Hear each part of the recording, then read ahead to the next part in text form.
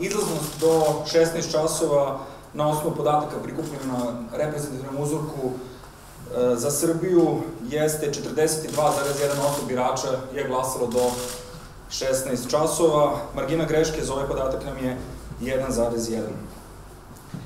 Kada govorimo o glasanju u Beogradu na parlamentarnim izborima, dakle podlačim glasanje u Beogradu na parlamentarnim izborima, ne na gradskim beogradskim izborima, ona je 37,9. I jedna i druga izlaznost, dakle na nivou Beograda i na nivou Republike Srbije je veća u odnosu na izlaznost 2016. godine, kada je na nivou Republike bila 39,6% u 16 časova, a 2020. kada je deo opozicije bojkotovo izbore, tada izlaznost bila 34,6. Dakle, ponovit ću, izlaznost do 16 časova na nivou Republike, izlaznost je bila 42,1%. E, posmatračka misija CRTE se tokom posmatranja veoma fokusira na to kako birački odbori sprovode procedure i da li imamo kršenja zakona ili ne.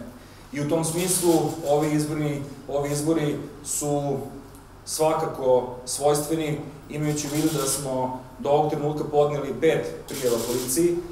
Govorimo o dva slučaja bugradskog voza, jedan zabeležen u opštini Surčin, drugi zabeležen u opštini Kula i tri slučaja kupovine glasova, dakle to su sva dešavanja ispred biračkih mesta u opštini Majdanpek, Žitorađa i Čukarica.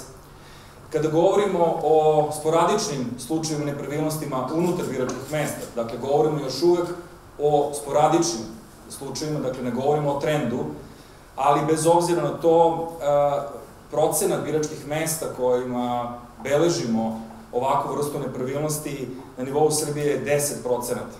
Mi ćemo pratiti tokom dana da li će se ovi pojedinačni slučajevi pretvoriti u trendove, dakle da će biti intenzitet i frekvencija ponavljanja ovih nepravilnosti ili će se one zaustaviti. Na nivou Beograda ovakav niz nepravilnosti se događa u pojedinačnom, sporadičnom intenzitetu na 5% biračkih mesta. A kada govorimo o konkretnim nepravilnostima, šta je to što ono što su naši posmatrači nama do sada javili? Dakle, govorimo o vođenju paralelne evidencije, govorimo o nepravilnoj pripremi biračkih mesta, to znači dakle, da glasanje na tim biračkim mestima ne može u popunosti da garantuje integritet izvodnog procesa i tajnost glasanja, povrede tajnosti glasanja eksplicitno, snimanje udešavanja na biračkim mestima od strane člana biračkih odbora ili birača, i nezakonito prisustvo trećih lica, dakle neovlašćenih lica na biračkom mestu. Ovo je nešto, da vas podsjetim, e, što smo zabeležili i tokom referenduma, dakle pojavu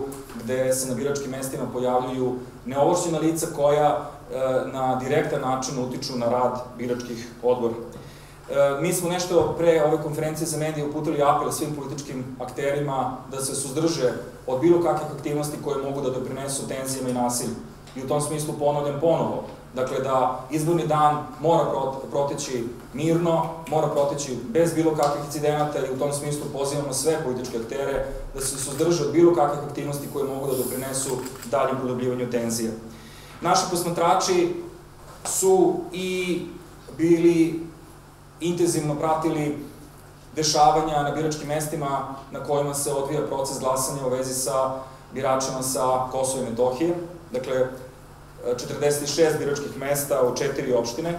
Ono što smo zabeležili jesu izuzetno velike gužve i rekli bismo izostanak integriteta procesa glasanja na tim biračkim mestima. Uprkos naporima ljudi koji pokušavaju da sprovedu izborni proces, prosto na tim biračkim mestima sa tolikim brojem ljudi je prosto nemoguće sprovesti izborni proces tako da se omogući i tajnost glasanja i da ljudi mogu samostalno glasiti. Dakle, na tim biračkim mestima smo zabeležili i grupno glasanje, i višestruko glasanje, i izostanak onih ključnih procedura koje garantuju da su pristupili glasanju ljudi koji su zaista tu biračkom mestu. U tom smislu, proces glasanja na ovim biračkim mestima je u ovom trenutku iz naše perspektive kompromitovana.